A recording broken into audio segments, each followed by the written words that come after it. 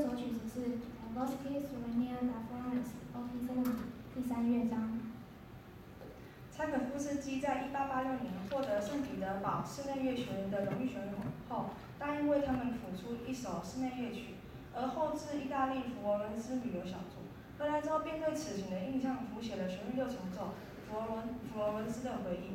这首专辑是以弦乐合奏的编制来展现柴可夫斯基当时愉快的情绪。